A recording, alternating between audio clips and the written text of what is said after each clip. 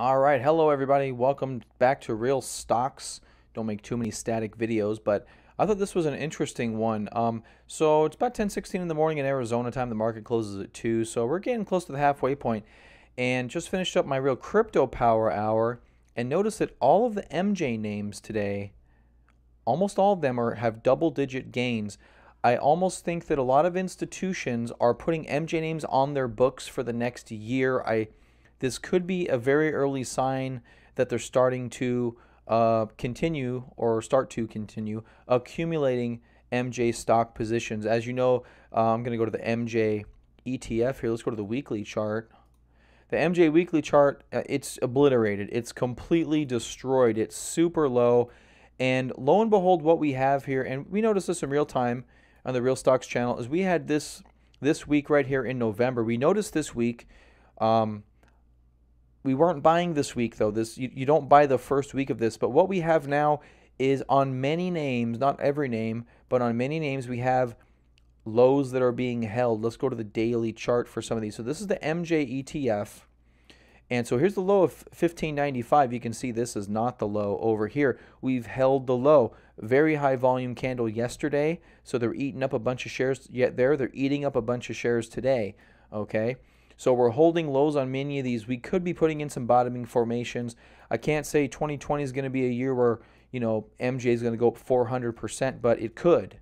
It, it's a possibility. Um, for those of you that are more knowledgeable in the in the marijuana sector than I am, I'm not very knowledgeable in the sector in terms of names and the politics. 2020 is also an election year, so that could that could bring if there's a big big swing for legalizing marijuana, that could be a thing that moves a lot of these names up. But let's look at some individual names. MMNFF, this is a name that um, we've been following a lot of these for a long time. Actually, do I have a MJ playlist? Yeah, I've got it. okay, so I got an MJ list here. Here we go. Okay, so start off with Cron. This is going by percentage order. So Cron, you can see here, we put in a low down here of $6. We're currently at 7.59, not far off of the lows. Above, this is the 50 period moving average. Actually crossing it for the first time in a long time. There's still some time left to go in the day, so we could reverse and this could be a large wick, which may negate this entire video, but I think it's an interesting enough situation um, where you could start to look at some longer term entries for MJ names. I'm talking a year plus, maybe maybe longer than that. If this goes into a multi-year bull cycle, you, you may want to hold some MJ names from down in this level. It is a possibility. These names are just utterly destroyed.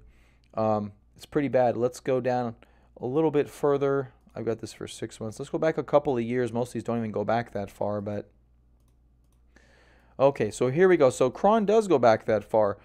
excuse me, Cron goes back a while down to 29 cents. And you can see got up to about 25 bucks. And there's been a long downtrend this entire year almost. And so you can argue we're holding this low back down from, you know, we had a parabolic rise here, went into form a large base. And this has been our price low at about the $6 level. We're only at 7 bucks. We're not far from that. I think uh, when I'm done with this video, I'm going to look at some MJ names and try to take some positions. But um, you, yeah, could be in a situation where we roll through. Could this pop up a little bit and fail? Absolutely. Could this do nothing all year? Absolutely. Could do that too. Could wait till the election. Could wait till the election, but you're seeing some accumulation signs. You're seeing higher lows, and uh, these names tend to get tend to get some movement in them. All right, next, what just happened there? Next up is Tilray. Uh, Tilray, a name that you know famously went to 300 from you know, nothing and went all the way back down to nothing. Talk about talk about a swing trade right there. That's crazy. Uh, so let's zoom in on Tilray here a little bit. So Tilray is one that made a lower low. Okay, I think a lot of people are disillusioned from the fact that it went all the way up to three hundred dollars. Um, but at a low, don't know if you want to pick up this name. You could, but I don't know. ACB, another one with another low. This one, a lot of people said was going to be the first profitable uh, marijuana name. I don't. It's not showing us earnings here. I'm not sure if it is or not. But you know, very high volumes down here. Did make a lower low, but uh, a lot of volume, a lot of volume after that, and not a tremendous amount of price progress to the downside. So shares are changing hands here. You just have to wonder if they're changing hands into longer term bag holders, or maybe it's just short covering. either way, you, you don't quite know. But this one also with a possibility still well under the 50 day, which is this third blue line here. Uh, next up is CGC, which does have a higher low. Actually, it looks like a maybe a minor island bottom down there. And eh, not quite an island bottom, but a higher low nonetheless breaking. Moving averages converging, which is good. So CGC showing a little bit of leadership, good volume from here. And uh, we, we'll see if we're going to bounce up higher from there. CGC could be a leader going forward uh, via this price action at the bottom. I just looked at Tilray. Uh, Alpha, I'm not familiar with Alpha off the top of my head. Aphria, okay. So this one looks like finding a low here at about the $3 level.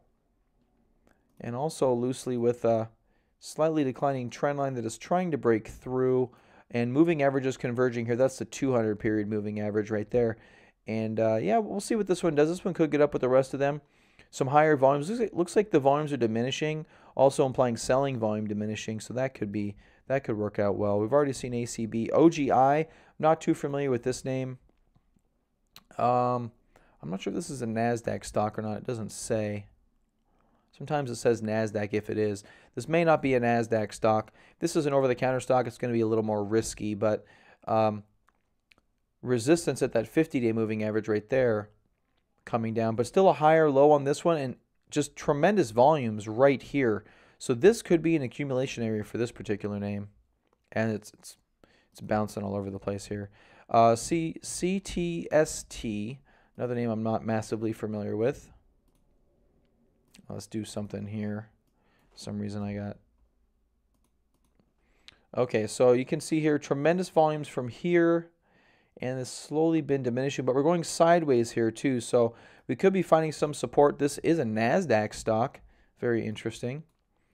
Uh, basically, right at a dollar if this gets delisted. I believe the Nasdaq has a dollar, maybe a dollar twenty-five listing requirement. I'm not exactly sure. So if it stays too far under a dollar, they will get delisted. They may have to do a reverse stock split to stay on the Nasdaq. Uh, whatever this one is, CWBHV, not a very sexy name, which means which probably is really why it hasn't had a lot of very sexy moves. A couple of big rallies here, but no majorly great chart patterns. Um, also into new lows here. That one may be a little more risky. Hexo uh, gapping down here. That one also may be a little more risky. Can been drifting down for years now. I'm not sure you want to jump in front of that one quite yet. Uh, MJ's the marijuana ETF name. Uh, this one taking a lot of the names Cron, ABC, CGC, Tilray into the fold. I think it has Hexo as well, and I and a couple other ones that aren't on here maybe. IIPR. This one's an interesting one. Um, I forget what these guys do. I think it's like actual medical like marijuana stuff, not medical marijuana selling marijuana, but medicine with marijuana. Uh, definitely a firm higher low. This one made a lower low via this action, but uh, recently putting in a higher low and could put in a situation where it gets a little bit more bullish. That's a much nicer view of this chart. Higher low right there. No major bottoming candles. That one's a bottoming candle, but um, if this can turn the tide, this one can get back up. And the good thing about this one is it's well off of the lows you can see it's been generally accumulated. We did break the 200 period moving average, but uh, so there's a possibility we consolidate down here for a while. But uh, generally, the MJ sector doing okay. GRGW, Growth Generation Corp. I don't remember what this guy does. This one's not too bad. This one also a NASDAQ stock. And finding some support here at the 200 period moving average. So this one loosely in an uptrend. We broke all the moving averages right here and we've been consolidating above the 200, which is loosely bullish. There's actually a trend line here you can try to buy off of right there if you want to, or or lower, closer to the 200 period moving average with a tighter stop under the 200 period moving average. Uh, that one looks like uh, not very good. These are some, uh, probably some other names. That, um, Miracle-Gro, huh? Scotts Miracle-Gro Company. Yeah, they loosely got in the marijuana business. Um, so maybe they could be one to get into as well. They're a large growing company, obviously. They know how to grow stuff. I don't remember exactly what what uh, portion they play, if they're actual growing the product or not. But you see a very large uptrend all year and a large cup and cup forming here. We could be handling. Maybe you start rallying in the first quarter to second quarter of next year. We'll see that. Uh, this thing is uh, over the counter stock. Definitely a lot of risk involved in that one. And then KGKG. Um, another one that is an over-the-counter stock and with a lot of inherent risk.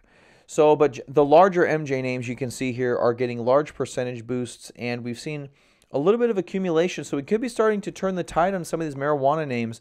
Let me know your guys' thoughts if you've done some research or know about these. Uh, please comment in the chat below. It's always good to to kind of share that knowledge with everyone. Um, but yeah, so let me know. Let me know what you think about the MJ sector here. It's very early in a potential turnaround, but some of these names are showing very good accumulation signs. Uh, OGI actually wasn't on my initial list, but with this kind of volume, I'm actually not too not too mad at this one. This one looks pretty good. All right, guys. Well, thanks for joining me today. We do this. We do look at a lot of stocks every single day, right at the market open, uh, here in the Real Stocks channel. So thanks for joining me, and I'll see you in the next one. Bye.